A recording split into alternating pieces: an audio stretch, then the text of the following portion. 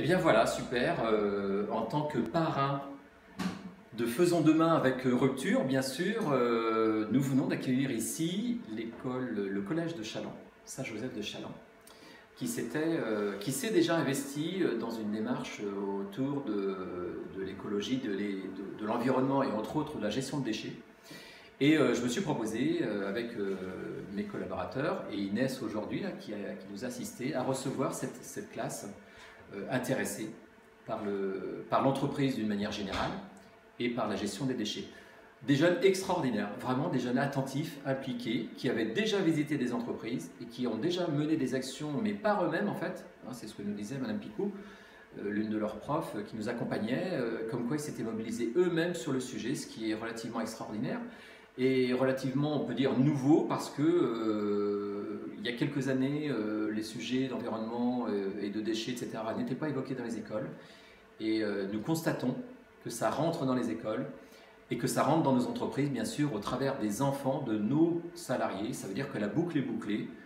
Nous, nous œuvrons dans les entreprises les parents peuvent témoigner de ce que fait l'entreprise, mais peuvent aussi rapporter à leurs enfants ce qui se passe dans leur entreprise, donc ce qui se passe dans les écoles, donc la boucle est bouclée. C'est prometteur pour demain, c'est une belle action et nous sommes hyper heureux d'avoir participé. Merci à toi Myriam, qui a été notre accompagnatrice, tu as bien présenté Rupture et c'était important. Merci pour tout. Bonjour, Claire Picot, je suis enseignante en anglais, mais aussi responsable du niveau 4e au Collège Saint-Joseph de Chaland. Euh, on est ici parce que euh, on a développé des initiatives écologiques au Collège Saint-Joseph cette année et euh, notre chef d'établissement nous a fait part du concours de rupture et de son souhait qu'on y participe. On s'est donc inscrit au projet et ils nous ont, eux, parlé de la volonté d'interaction avec les écoles.